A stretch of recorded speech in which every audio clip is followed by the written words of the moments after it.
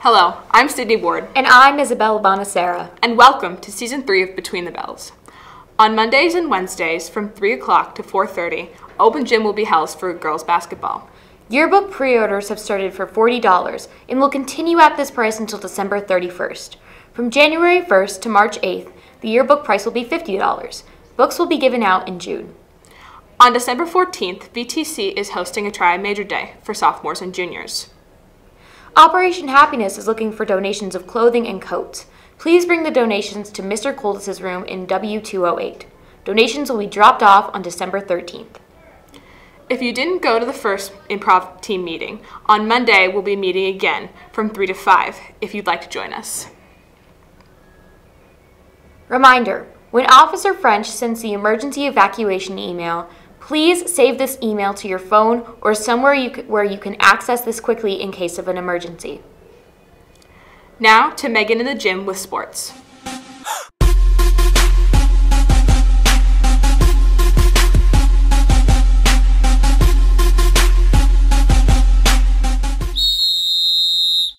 Hi, I'm Megan Buckley here to give you the latest with this week's sports.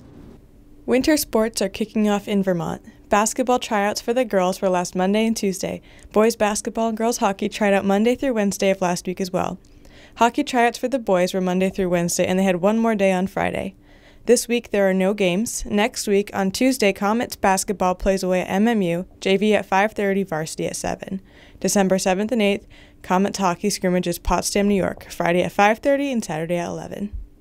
I'm here with varsity basketball player Landon Potvin. Landon, tell us about your fundraiser. Yeah, so we're just selling cups for twenty dollars a pop. Um, if you would like one, just stop a varsity player in the hallway and uh, tell them you'd like to buy one. Also, uh, don't forget to come by Essex tonight and watch the Bob Whites scrimmage the Hornets. That's all. Now back to the studio. Thanks, Megan. Sounds like a slam dunk. Now to Isaac with lunch.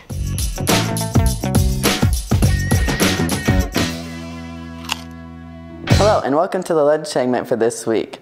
Today for lunch, we have meatball subs with homemade cornbread and broccoli salad. Tomorrow for lunch, we have homemade macaroni and cheese with homemade cornbread. And then last but not least, on Friday, we have homemade pancakes with real maple syrup. And now back to the news desk for the rest of the segment for this week. Thanks, Isaacs. Sounds delicious. Now to the moment you've all been waiting for. Here's Riley and Gavin with Kids in the Hall.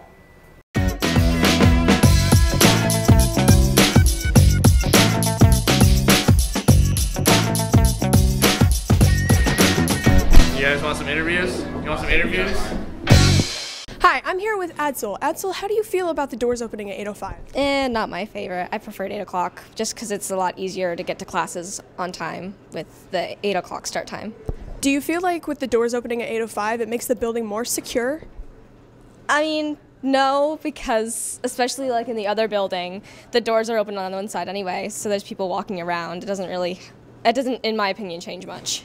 Okay, thank you. All right, I'm here with Stefan. Um, he, he's a senior, and uh, what do you think about the buildings opening at 8:05 on the late days now? I think it's a bad decision. Um, it is too cold out here to only be holding us to 8:05. It should be opened at like eight or even earlier. It's too cold. That's it. I'm here with Will. Will, how do you feel about the 8.05 start time? I think it's just generally inconvenient. Um, it's making peop- a lot of people late, and just waiting outside is just kind of a pain. And I think it would just be better if it's if the building opened at eight. Is there a start time that you would prefer the doors to open at? Definitely eight or possibly even earlier. But I know teachers have collaborations, so they can't before eight. But I think just after eight, it's just pointless. Okay, awesome. Thank you. All right, I'm here with Asa. Uh, he's a junior, and uh, what do you think about the buildings opening at 8:05 on the late days now? Uh, I don't like it. I'm freezing as it is, and I think we should get into school as fast as we can.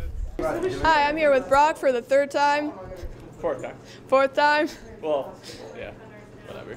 Second time for me, fourth time in all. Brock, how do you feel about the 8.05 start time?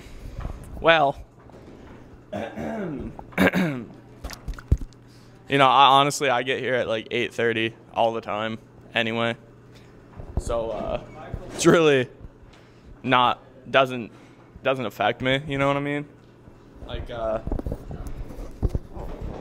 See, if I got here at like seven o'clock, like all those other crazy kids that want good parking spots, I'd I'd be a little upset and be like, well, man, get me in the building. But I don't care. Okay? You heard it here first, folks. Brock doesn't care. Thank you. I'm a senior. And I'll be one next year too. Just kidding. Are you? Interesting interviews. Be sure to follow us on Snapchat to get information on where the next interviews are. Tune in next week for another episode of Between the Bells.